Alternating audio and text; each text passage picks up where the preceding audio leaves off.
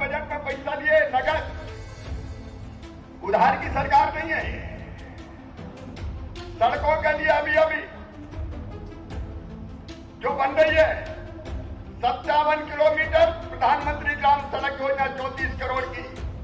इस साल में यह पंडित गोपाल भार्गव बैठे ऑन कार्ड हिसाब पंडित जी, कितने दिए बता दो।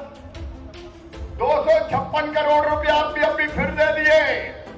दमोह की सड़क के लिए ज़िले की अरे इसमें तो ताली बजाओ ज़ोर से देखो, सवा जीवन होनी चाहिए भाई। होनी चाहिए कि नहीं होनी चाहिए?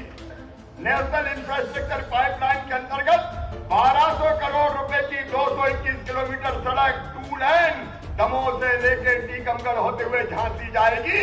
विकास की गाड़ी दौड़ेगी बेहतर। 445 करोड़ रुपए की लागत से बजट में दिए दमोह पटेरा समूह नल जल योजना। 445 करोड़ दे दिए कमलनाथ जी। लागत दे रहे भाई। 445 करोड़ लागत की। दमोह पटेरा समूह नल जल योजना। इसमें एक सौ तिरपन गाँव में पीने का पानी मिलेगा।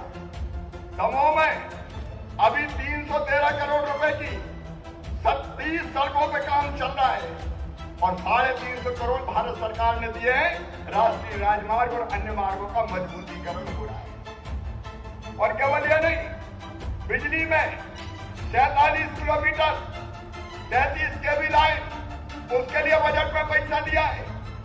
विद्युत वितरण नेटवर्क को सुदृढ़ करने के लिए किसान भाइयों पाँच सौ नए ट्रांसफार्मर लगाए जाएँगे। चिंता मत करना ठीक बिजली देने में कोई कसर नहीं रख, रखेंगे। उसके लिए भी पैसा दे दिया। पूरे ज़िले में पाँच हज़ार आठ सौ घर रुपए की लागत से घर घर बिजली जो रह गए, उनको भी जोड़ दिया जाएगा। एक भी घर बिना बिजली के नहीं रहने देंगे। सिंचाई के बारे में अभी मैंने आपको बताया, ये सत्तारू सीतानगर, ये पूरी होगी। भाइयों, तीन साल के अंदर दमोह ज़िले के हर घर में हैंडपंप से नहीं, पानी भर भर के मर जाती है हमारी बहनें।